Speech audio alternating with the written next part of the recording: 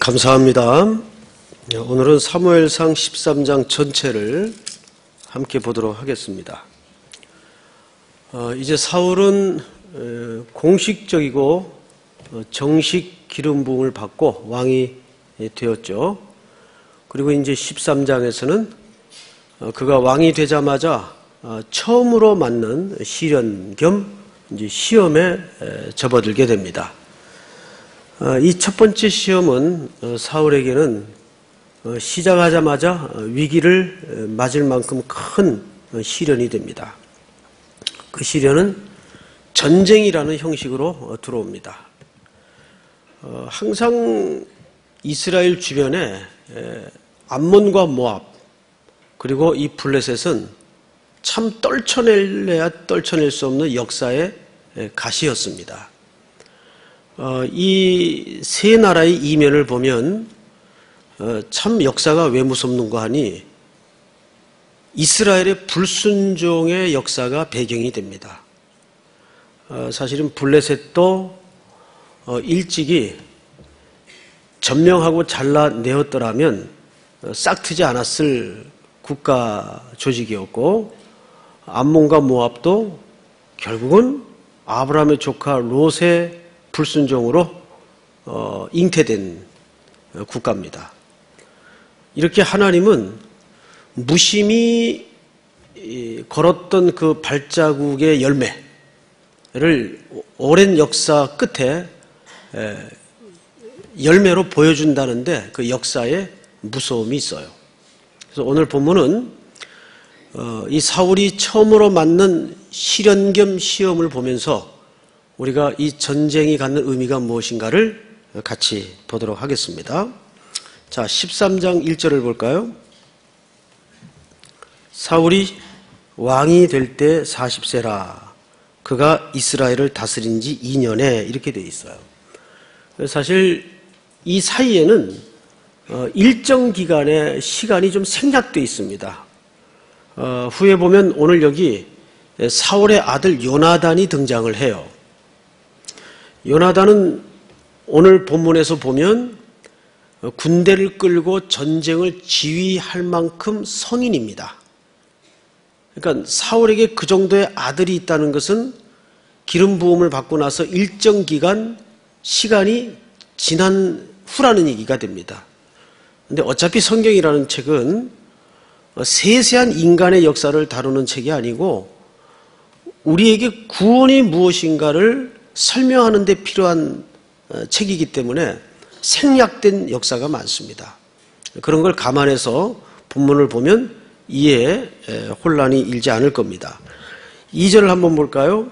이스라엘 사람 3천 명을 택하여 그 중에서 2천 명은 자기와 함께 믹마스와 베델산에 있게 하고 1천 명은 요나단과 함께 베냐민 기부하에 있게 하고 남은 백성은 각기 장막으로 보내니라. 자, 이게 무슨 얘기냐면 어, 쭉 사무엘서 강해를 이어오면서 어, 이 이스라엘은 아직 다른 나라와 같은 국가 체제가 제대로 갖추어지지 않은 조직입니다. 하나님이라는 보이지 않는 왕을 중심으로 사사를 통해 신정 정치를 하던 나라이기 때문에 이 국가 조직이라고 할 것도 없고 어, 사회 시스템 자체가 굉장히 단순했어요. 복잡할 것도 없고. 그런데 이제 왕정 제도가 들어서면서 국가 조직을 갖추다 보니까 사월이 판단하기에는 어, 어차피 국가라는 것은 안위와 보호를 위해서 어, 군대가 필요한데 이 군대를 상비군으로 둬야 되겠다는 생각을 했던 것 같아요. 그래서 지금 사실상 상비군 조직을 하는 겁니다. 다른 때 전쟁은 필요할 때마다 백성들이 소집이 돼서 저 민병대처럼 어, 자원에서 싸우는 전쟁의 형태를 취했었습니다. 그런데 사울이 정식 왕이 되고 어, 이 왕을 중심으로 국가 체제를 만들다 보니까 다른 나라들처럼 상비군 제도가 어, 있어야 되겠다는 판단하에 지금 상비군을 조직하기 시작한 겁니다. 그렇게 해서 어, 소집된 병사가 3천 명이에요. 뜻밖의 많은 수가 아니에요. 어, 그것도 둘로 나누어서 천 명은 아들 요나단이 데리고 가고 나머지 이천 명은 이제 자기 휘하에 상비군으로 두는 체제를 시작한 겁니다. 자, 이것도 이유가 있었어요. 어느 날 갑자기 그냥 아무 일도 없는데 아, 상비군 체제를 도입해야 되겠다 이렇게 된 게 아니고 지금 국가적인 위기를 만난 겁니다. 아들 요나단이 아버지 허락하에 블레셋 일부를 기습 공격함으로써 국지전이 벌어지고 있었어요. 그래서 블레셋 쪽에서는 안 그래도 뭐 혼낼 구실이 없나 이렇게 틈을 타고 있던 차인데 하루 강아지 법 무서운 줄 모르고 이 조그만 나라가 어, 게릴라 작전식으로 치고 들어오니까 이때다 싶어가지고 이 국지전으로 시작했던 싸움이 전면전이 되어버린 거예요. 자, 그 부분을 좀 한번 읽어보십시다. 3절. 요나단이 게바에 있는 블레셋 사람의 수비대를 침해 블레셋 사람이 이를 들은지라 사울이 온 땅에 나팔을 불어 이르되 히브리 사람들은 들으라 하니 사절 같이 읽을까요? 시작. 온 이스라엘이 사울이 블레셋 사람들의 수비대를 친 것과 이스라엘이 블레셋 사람들의 미움을 받게 되었다 함을 듣고 그 백성이 길갈로 모여 사울을 따르니라. 네, 전쟁은 그렇게 시작이 된 겁니다. 사울의 아들 요나단이 어, 국지전을 벌였던 것 같아요. 원래 왕을 세울 때 왕을 구했던 이스라엘 백성들의 사실상 목적이 이 블레셋의 위협으로부터 나라를 백성을 구하는 이 구원의 문제가 가장 급박하고 현실적인 문제였습니다.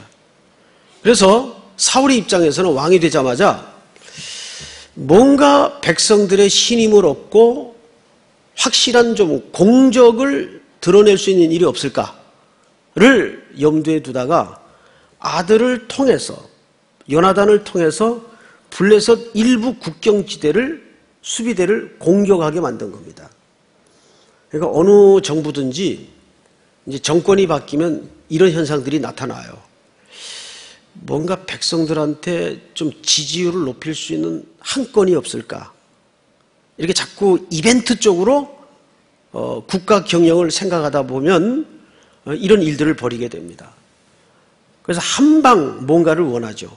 뭔가 좀 이렇게 센세이셔널하고 어, 자극적인 어떤 이벤트적 국가 경영을 통해서 어, 백성들의 마음을 어, 사로잡을 어떤 건수가 없을까. 그래서 항상 정권 초기에 뜻밖의 실수들이 많이 벌어지죠. 아마 사울도 그런 차원에서 아들을 통해 블레셋 국경지대를 공격했던 것 같아요. 근데 굉장히 이건 무모한 짓을 한 겁니다. 이제 후에 그 수치가 나타나지만 이스라엘은 지금 블레셋의 속국격으로 이렇게 묶여 있던 때입니다. 함부로 공격할 수 있었던 때가 아니에요. 근데 공격을 한 겁니다. 그리고 이때다 싶어서 블레셋은 전쟁이다 하고 전면전을 선언한 겁니다. 자, 이 상황을 놓고 이제 이스라엘 공동체가 어떤 태도를 맡게 되는가를 한번 보십시다. 5절을 보세요. 블레셋 사람들이 이스라엘과 싸우려고 모였는데 병거가 얼마입니까? 3만. 3만. 어마어마하죠? 마병은 6천. 그리고 백성은 해변에 모래 같았어요. 셀 수가 없이 많았다 그 말이에요. 거기에 비하면 지금 사울의 군대는 소집된 상비군 숫자만 3천 명이에요. 게다가 그것도 둘로 지금 분리되어 있습니다. 이 게임이 안 되죠. 그런데 성경 기자가 이런 수치를 밝힘으로써 지금 드러내고자 하는 아주 중요한 의도가 있습니다. 자, 이렇게 수치가 드러나면서 백성들의 태도를 한번 볼까요? 6절. 이스라엘 사람들이 위급함을 보고 절박하여 굴과 수풀과 바위 틈과 은밀한 곳과 웅덩이에 숨으며 절박하여 숨었어요. 어떤 히브리 사람들은 요단을 건너 갓과 길라 땅으로 가되 사울은 아직 길갈에 있고 그를 따르는 모든 백성은 떨더라 이렇게 돼 있어요. 자 여기 세 단어를 주목하세요. 절박하여 숨었어요. 그리고 사울을 따르는 백성들은 지금 무서운 공포와 두려움에 떨고 있었다고 성경은 묘사합니다. 자, 사울이 길갈에서 공식적으로 왕으로 기름 붓기 전에 그 기름 붓게 되었던 계기가 된 전쟁이 지난주에 있었어요. 암몬과의 싸움입니다. 그 암몬과의 싸움은 오늘 여기에 나타난 사울의 군대와 사울과는 너무도 대조적인 모습을 그려내고 있습니다. 다른 나라가 아니에요. 다른 사울이 아니에요. 그런데 똑같은 사울이고 똑같은 백성이요 군대인데 암몬과의 전쟁과 이 블레셋과의 지금 전쟁은 전혀 다른 나라 백성 지도자처럼 완전히 다른 색깔을 성경 기자가 일부러 대비시키고 있습니다. 어느 정도 다른가? 그 대목을 우리 11장에서 한번 확인해 보십시다. 앞서 11장에 보시면 5절을 보겠습니다. 5절. 저하고 좀 교독을 합시다. 마침 사울이 밭에서 소를 몰고 오다가 이르되 백성이 무슨 일로 우느냐 하니 그들이 야베스 사람의 말을 전하니라 시작 사울이 이 말을 들을 때 하나님의 영에게 크게 감동됨에 그의 노가 크게 일어나 한 개의 소를 잡아 각을 뜨고 전령들의 손으로 그것을 이스라엘 모든 지역에 두루 보내어 이르되 누구든지 나와서 사울과 사무엘을 따르지 아니하면 그의 소들도 이와 같이 하리라 하였더니 여호와의 두려움이 백성에게 임함에 그들이 한 사람 같이 나온지라. 시작. 사울이 벨색에서 그들의 수를 세어 보니 이스라엘 자손이 30만 명이요 유다 사람이 3만 명이더라. 무리가 와 있는 전령들에게 이르되 너희는 길랏 야벳 사람에게 이같이 이르기를 내일 해가 더울 때 너희가 구원을 받으리라 하라. 여기까지. 자 이것이 몇 장 앞에 암몬가의 싸움에서 드러냈던 사울과 백성들의 일사불란한 용맹스러움과 태도였어요. 그런데 똑같은 지도자예요. 백성도 다른 백성이 아니에요. 근데 지금 우리가 13장에서 만나고 있는 백성들의 모습은 숨고 절박하여 떨었다라고 돼 있어요. 지도자인 사울마저도 어찌할 바를 지금 모르고 있습니다. 자, 이 두 싸움을 앞에 둔 백성들의 가장 중요한 차이가 뭘까요? 가장 중요한 차이가 뭘까요? 왜 이런 다른 그림이 묘사되어 있을까요? 딱 하나입니다. 여호와의 신이 임함으로 이렇게 돼 있어요. 앞의 전쟁은 여호와의 신이 임함으로 그런데 블레셋과의 싸움에서는 여호와의 신이 임하는 장면이 없어요. 자, 보세요. 결국 이 전쟁은 전력의 수나 작전의 유무나 백성들의 사기에 있지 않았다는 뜻이에요. 이 전쟁의 문제는 무슨 문제였다는 말입니까? 신학의 문제요, 신앙의 문제라는 뜻입니다. 여러분, 이거는 굉장히 중요한 우리 성도들 일생에 걸린 원리로 자리 잡아야 됩니다. 우리는 보통 생활을 살면서 어, 수많은 환란도 부딪히고 고난도 겪고 그래요. 사업을 하다가 또 엎어지기도 하고 뒤집어지기도 하고 그래요. 그럴 때마다 우리는 금방 돌아가는 생각이 보여지는 것이 수치, 자본, 크기, 속도 이런 싸움으로 이해를 가지고 들어옵니다. 내가 아, 자금이 딸려서 그랬나? 내가 좀 덜 부지런했나? 이런 쪽으로만 자꾸 인생살이의 모든 문제를 대입시키는 표면적 습관이 들어왔어요. 그런데 오늘 이 전쟁의 문제를 지금 성경 기자는 두 전쟁을 비교하면서 무슨 전쟁으로 이해를 갖고 있는 겁니까? 이것이 하나님의 전쟁이요, 신학의 문제요, 신앙의 문제로 이해를 갖고 있는 겁니다. 딱 하나밖에 차이가 없어요. 여호와의 신이 임한 전쟁과 그 신이 주도하지 않은 전쟁은 어떤 극명한 그림을 똑같은 사람들인데 똑같은 리더십인데 왜 이렇게 다른 그림을 그려내는가 우리는 비교를 통해서 보고 있습니다. 병력의 문제도 아니었고 작전의 탁월함과 덜 탁월함의 문제도 아니었습니다. 결국은 하나님이 임재하는 싸움인가 아닌가 신학의 문제요 신앙의 문제였어요. 이 원리는 우리 모든 성도들이 모든 삶 속에서 DNA가 돼야 돼요. 어떤 문제든지.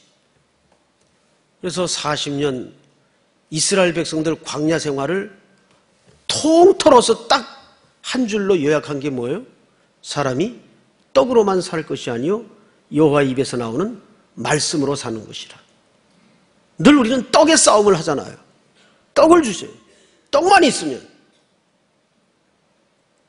근데 인생살이가 그 떡의 싸움이 아니었다는 거예요. 크기의 싸움도 아니고 속도의 싸움도 아니고 누가 더 든든한 자본을 갖고 있느냐의 싸움도 아니고 신학의 문제고 신앙의 문제고 하나님의 임재의 문제였더라고요.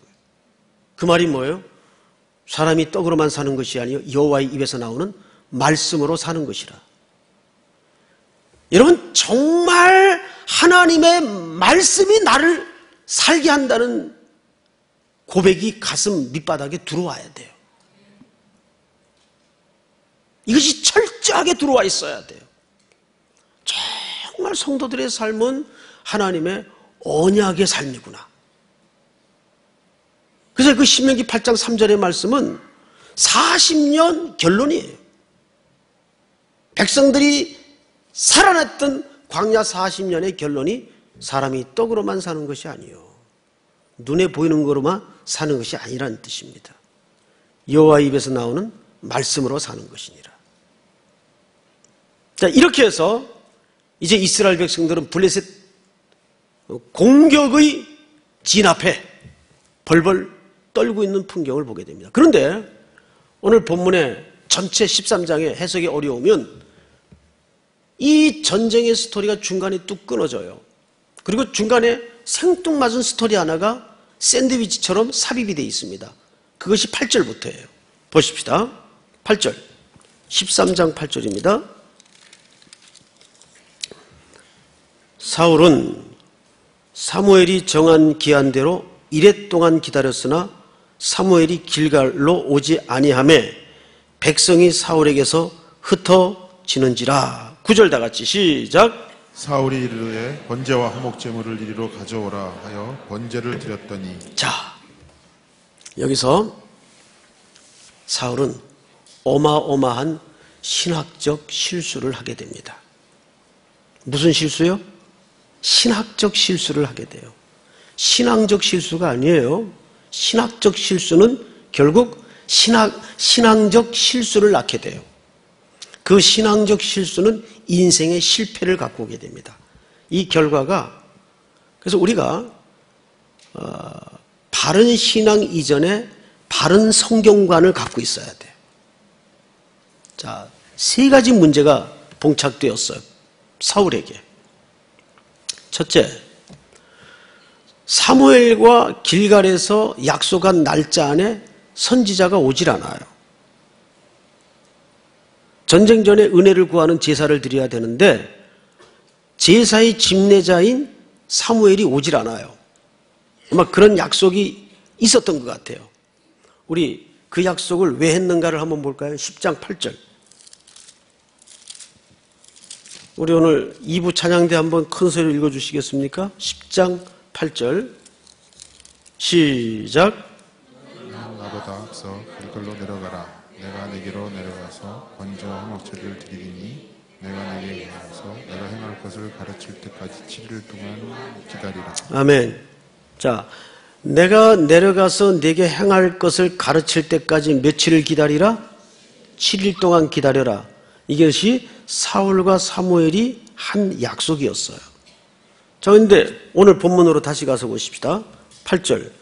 사, 사울은 사무엘이 정한 기한대로 이래 동안을 기다렸으나 사무엘이 길갈로 오지 아니하매 백성들이 사울에게서 흩어지는지라. 자, 이제 몇 명 남지도 않았어요. 근데 그나마 백성들이 하나씩 둘씩 떠나기 시작합니다. 이러면 지도자가 등에 찬땀이 나는 거예요. 항상 사람은 눈에 이렇게 그득이 보여야 안심이 되는 존재예요. 참 신앙이 아이러니한 게 철저한 결핍을 통해서 하나님의 임재를 배우게 하는데 인간이 그걸 못 깨닫는 거죠. 인간은 사실 철저한 결핍이 올 때 하나님의 임재를 깨닫게 됩니다. 그런데 사울에겐 지금 세 가지 문제가 봉착을 했는데 사무엘이 일단 지금 기한 내에 오질 않고 있어요. 게다가 그러다 보니까 백성들이 하나씩 둘씩 그나마 얼마 없는 군대가 흩어지기 시작합니다. 지금 전쟁은 코앞에 두고 있는데 블레셋은 코앞에 진을 치고 있어요. 이 삼중적 위기가 지도자에게 찾아왔어요. 그럴 때일수록 어떻게 해야 될까요? 좌로도 보지 말고 우로도 보지 말고 깊이를 파야 되는데 그만 좌우로 두리번거리다가 인생의 방향을 놓쳐버립니다. 히브리서 기자가 뭐라 그랬어요? 십자가에서 죽으신 예수 그리스도를 깊이 생각하라. 그리고 예수 그리스도를 바라보라. 예수를 바라보라. 거기 바라보라라는 말은 원래 fix on이라고 돼 있어요. 고정시켜서 보라 그 뜻이에요.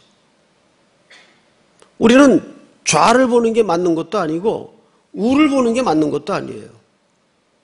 십자가를 봐야 그 인생이 정조준하게 되어 있습니다. 그런데 사울은 지금 그만 앞불사 초점을 잃어버리고 말았어요. 기다려도 오지 않죠. 그분이 오셔서 행할 일을 가르침을 받고 전쟁을 하고 은혜 위에 싸워야 되는데 그 제사장이 오질 않아요. 군대는 흩어지고 적은 코앞에 있고 어쩌면 좋아요? 그래서 급한 나머지 안 되겠다. 재물 갖고 와라. 일단 내가 먼저 예배 집례할게. 이렇게 된 겁니다. 자기 위치를 벗어나게 된 거예요. 이거는 무서운 신학적 실수입니다. 그런데 성경을 보세요. 9절. 사울이 이르되 번제와 화목제를 이리로 가져오라 하여 번제를 드렸더니 번제 드리기를 마치자 사무엘이 온지라. 나는 여기서 사무엘이 참 이해가 안 돼요.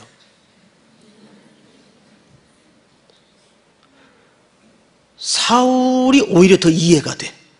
그렇잖아요. 책임을 맡은 자로서 사울의 행동에 더 동정이 가요.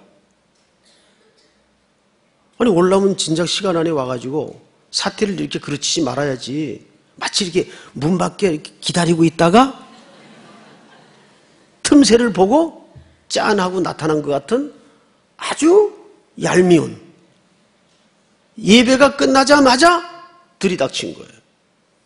하필. 그래서 사울이 반갑게 축복을 하면서 맞으러 나갑니다. 성경을 잘 보시면 이렇게 돼 있어요. 무난함에 거기 일 하고 풋노트에 뭐라 그랬어요? 축복하여. 축복했단 말이에요. 그만큼 사울은 반가운 거예요, 지금.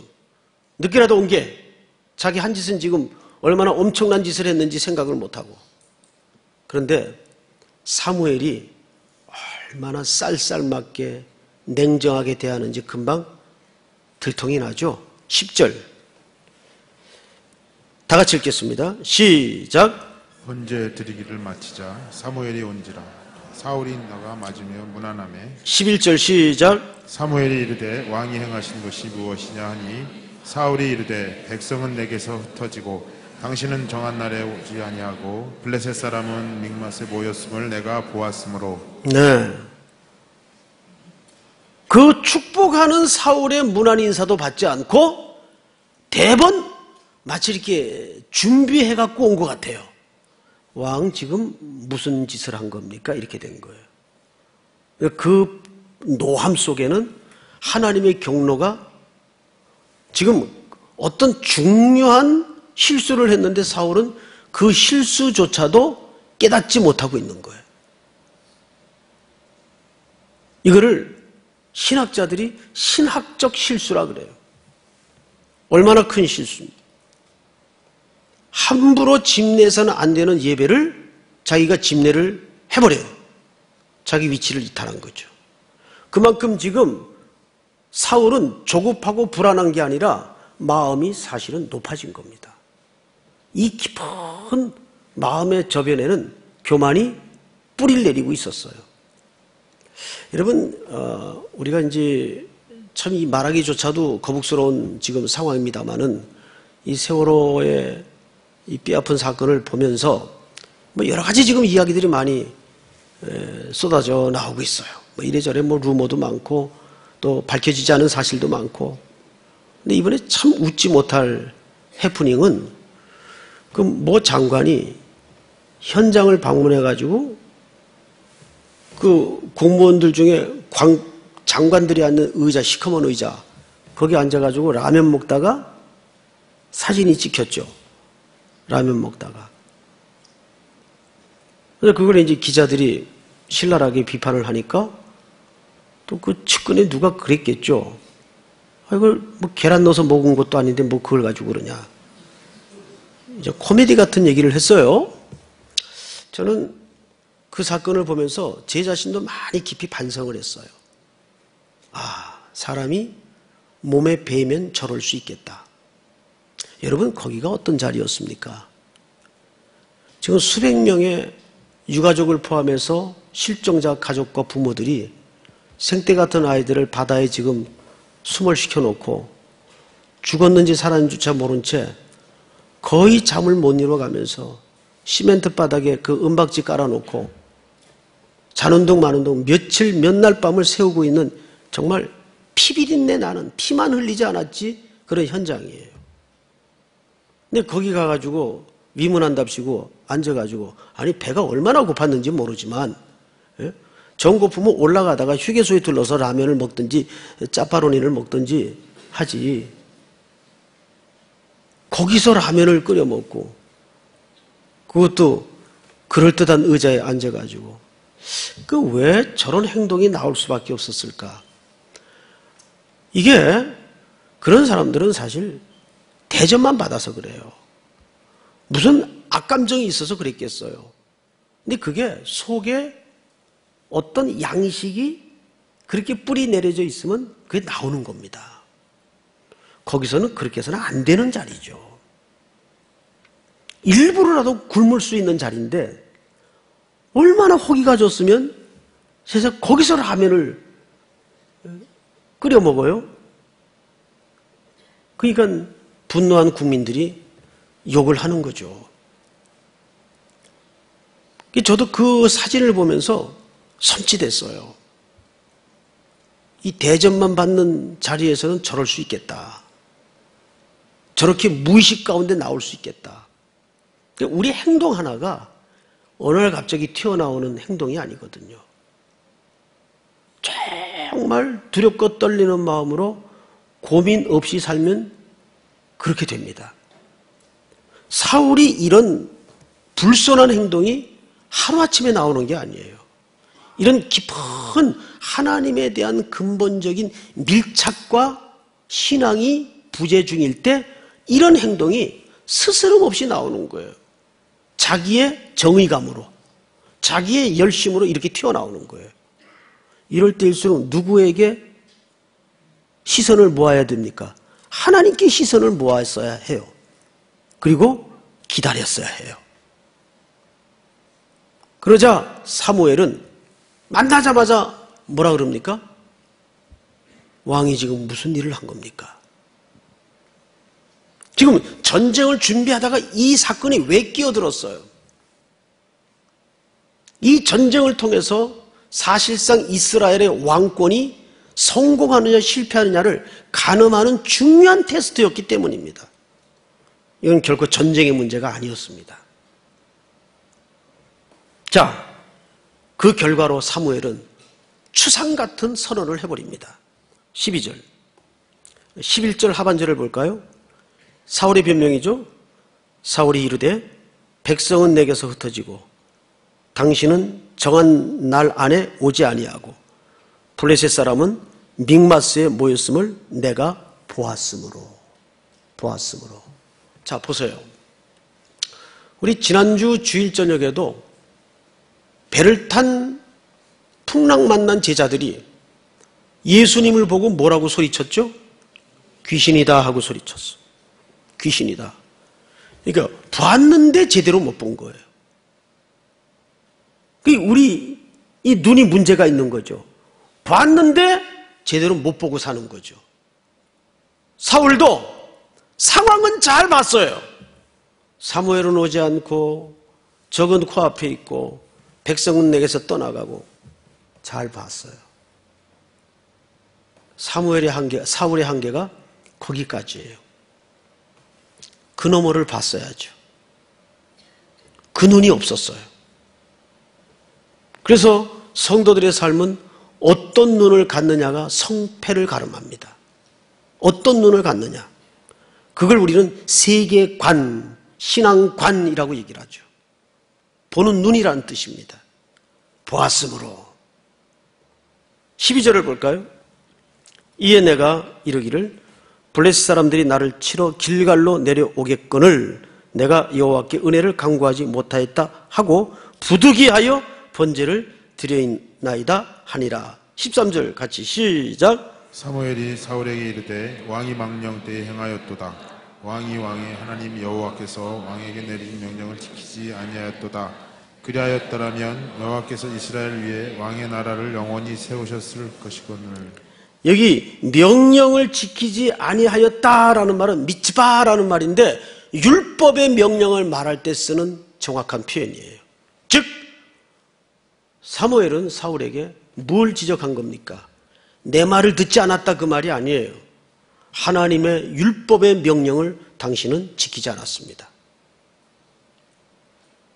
전쟁의 문제가 아니죠.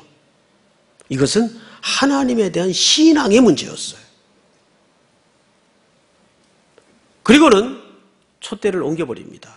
어떻게 옮기는가를 볼까요? 14절. 지금은 왕의 나라가 길지 못할 것이라. 이 말을 원문에 보면 왕의 나라가 서지 못할 것이라. 결국 사울의 나라는 서지 못합니다. 시작하다가 꺾여요. 서지 못할 것이라. 여호와께서 왕에게 명령하신 바를 왕이 지키지 아니하였으므로 여호와께서 그의 마음에 맞는 사람을 구하여 여호와께서 그를 그의 백성의 지도자로 삼으셨느니라. 자, 여러분 여호와께서 그의 마음에 맞는 자, 하나님의 마음에 합한 자 누굽니까? 다윗을 얘기합니다. 아직 이름은 역사 속에 드러내지 않고 있어요. 이미 사울은 자리만 왕이에요. 촛대가 옮겨버린 겁니다. 다윗의 집으로. 근데 여기 유념해야 할 두 가지 표현이 하나 있어요. 13절, 14절 동안에 제일 반복해서 자주 등장했던 단어가 무슨 단어입니까? 왕. 왕께서, 왕이. 왕이라는 단어가 모든 문장에 어색할 정도로 자주 등장합니다. 이유는 복선을 깔고 있기 때문입니다. 그 왕은 누가 구한 왕입니까? 백성들이 구한 왕이에요. 그 왕은 이스라엘 백성들이 구한 왕이에요. 그런데 하나님은 그 왕이라는 단어를 자주 사용함으로써 내가 참된 왕이라는 것을 사무엘의 입을 통해서 계속 증언하고 있는 겁니다. 이걸 우리는 히브리 문법으로 word play라고 하죠. 한 단어를 통해서 복선을 까는 메시지를 담을 때, 이중적인 메시지를 담을 때. 근데 여기 또 하나 주목해야 될 단어가 뭐냐면 이런 단어가 있어요. 14절 하반절에 여호와께서 그의 마음에 맞는 사람을 뭐하여? 구하여. 다윗은 누가 구하는 왕입니까? 하나님이 구하는 왕이었어요. 근데 사울은 누가 구한 왕입니까? 백성들이 구한 왕이었어요. 큰 차이가 있죠. 하나님이 구한 왕이냐? 백성들이 구한 왕이냐? 그래서 일부러 하나님이 구하여 라는 단서를 여기에 붙입니다. 하나님이 구하여 세운 왕이 다윗이에요. 그 다윗의 혈통을 통해서 진정하고도 참된 왕, 왕 중의 왕이신 예수 그리스도가 오셔야 되기 때문입니다. 그래서 왕, 구하여 백성들이 구했던 왕은 이렇게 실패로 실질적인 막을 내려버립니다. 그리고 그 다음에 등장하는 사울은 왕은 왕인데 자리만 왕이에요. 이미 촛대가 다윗의 집안으로 넘어갔습니다. 무서운 역사죠. 그리고 길갈로 길갈에서 사무엘은 떠나버립니다. 떠났다라고 돼 있어요. 다시 중간에 삽입되었던 이 제사의 문제가 한 문단으로 일단락이 되면서 다시 원래 전쟁의 스토리로 회복이 됩니다. 16절을 보십시오. 사울이 자기와 함께한 백성의 수를 세어보니 몇 명 남았어요? 600명가량이라 16절 다 같이 시작 사울과 그의 아들 요나단과 그들과 함께한 백성은 베냐민 게바에 있고 블레셋 사람들은 바스에 진쳤 노략군들 블레셋 사람들을 얘기하죠. 왜 노략군들이라고 그러냐면 추수 때마다 다 빼앗아가고 뭐 생산해 놓으면 다 빼앗아가고 이 블레셋의 등쌀 때문에 이스라엘은 견딜 수가 없었어요. 그래서 여기 아예 노략군이라고 표현합니다. 노략군들이 세대로 블레셋 사람들이 진영에서 나와서 한 대는 오브라길을 따라서 수알 땅에 이르렀고 한 대는 벧호론 길로 향하였고 한 대는 광야 쪽으로 스보임 골짜기가 내려다보이는 지역길로 향하였더라. 그때 이스라엘 온 땅에 뭐가 없어요? 철공이 없었으니 이는 블레셋 사람들이 말하기를 히브리 사람들이 칼이나 창을 만들까 두렵다 하였음이라. 온 이스라엘 사람들이 각기 보습이나 삽이나 도끼나 괭이를 버리, 벼리려면 블레 사람들에게로 내려갔었는데 이게 무슨 뜻인가 한번 앞을 잠가 보실까요? 블레 사람들이 이스라엘을 속국으로 잡고 있으면서 일절 철기 문명을 경험시키지 않았어요. 무기를 만들어서 반역을 일으킬까봐. 그래서 여기 벼리려면이라는 말은 낫이나 도끼나 이런 농사나 나무 패는 데 필요한 연장들을 날카롭게 하려면 그걸 전부 연장을 들고 멀지 않으니까 블레셋에 가서 돈 주고 나, 나를 갈아가지고 사용하곤 했습니다.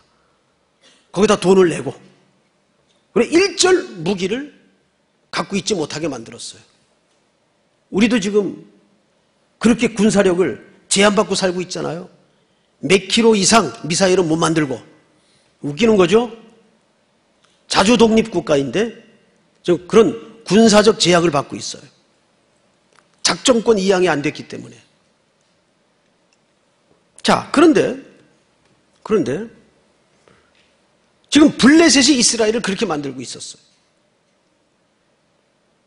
그래서 지금 블레셋의 공격 앞에 이스라엘은 무기가 실질적으로 없어요. 무기라는 게 전부 연탄 붙집게, 꼬챙이, 빨래방망이, 뭐 이런 거예요. 제가 농담하는 게 아니고 진짜요. 보세요. 자, 21절. 시작. 곧 그들이 괭이나 삽이나 쇠스랑이나 도끼나 쇠채찍이 무딜 때에 그리하였으므로 싸우는 날에 사울과 요나단과 함께한 백성의 손에는 칼이나 창이 없고 오직 사울과 그의 아들 요나단에게만 있었더라. 자, 이제 앞을 보십시다. 전쟁 될까요? 저쪽은 일단 병거만 3만이에요. 마병이 수천이에요. 백성은 해변의 모래수 같아요. 근데 이스라엘은 다 지금 흩어지고 600명 남았어요. 이 수치 비교가 돼야 안 돼요? 안 되죠. 근데 결론 14장 23절을 보세요. 사무엘상 14장 23절 우리 전체가 한번 같이 읽겠습니다. 시작.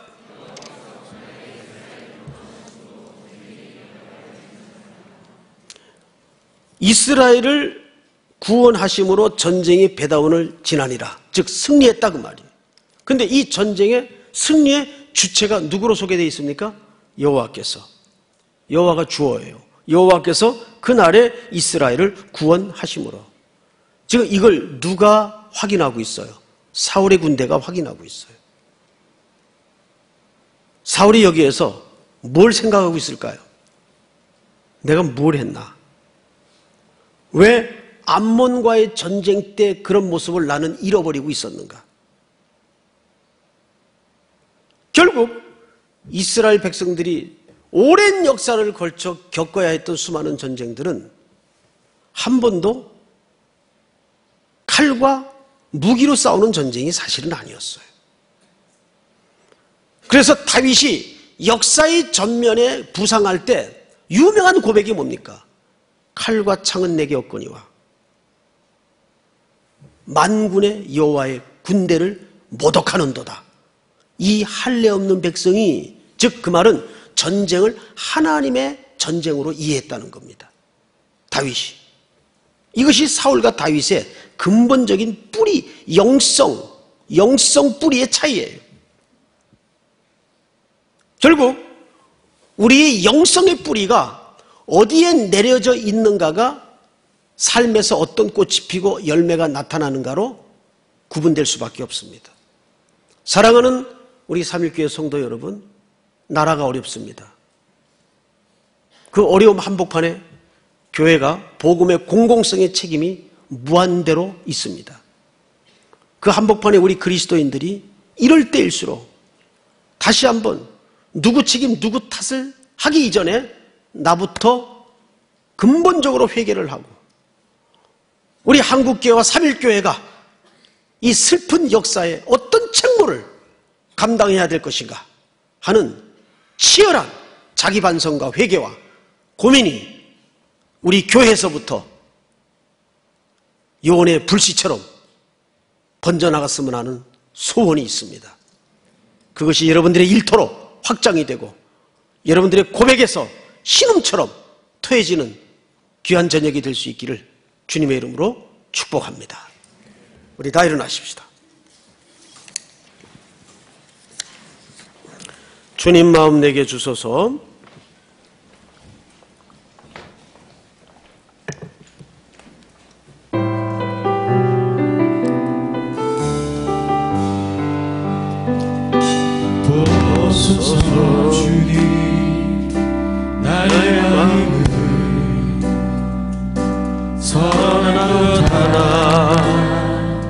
번더 고백하겠습니다.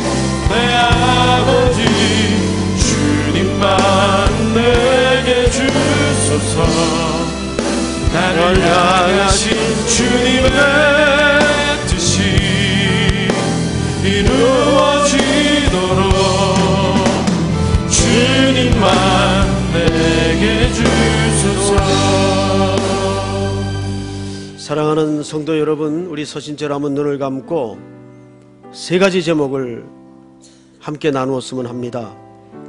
먼저 진행되고 있는 구조 작업과 세월호 사건을 통해 경종을 주시는 하나님의 음성 앞에 깊이 우리 한국교회가 먼저 회개하게 하시고 우리 자신이 겸허히 주의 경종 앞에 설 수 있도록 은혜를 주시옵소서. 그 숨정한 아이들이 남겨간 역사의 과제가 너무 큰 울림으로 우리 앞에 다가옵니다. 우리가 그리스도인으로서 무엇을 해야 될까? 그 아이들의 죄 없는 죽음이 결코 헛되지 않도록 우리 자신부터 하나님 앞에 하나님의 공의, 하나님의 정직, 하나님의 사랑을 실현하게 하여 주시옵소서. 또 우리 삼일교회를 위해서 기도하십시다. 우리 삼일교회가 크기의 싸움을 내려놓고 이제는 하나님 앞에 바른 방향과 바른 가치로 나아가는 순종이 있도록 인도하여 주시옵소서. 마지막으로 자신을 위해서 기도합시다. 그동안 비틀거리면서 살았던 우리의 무심한 마음들을 용서하여 주시옵소서. 우리 시간 다 같이 한번 주여 부른 다음에 소리내어 통성으로 기도하시다가 돌아가시기 바랍니다. 주여! 사랑하시는 아버지 하나님 은혜를 감사합니다.